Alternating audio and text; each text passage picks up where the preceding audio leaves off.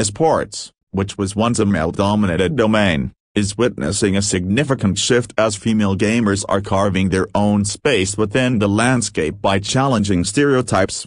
With talent, resilience, and a supportive community, women are proving that esports is a platform where skill and passion determine success, regardless of gender.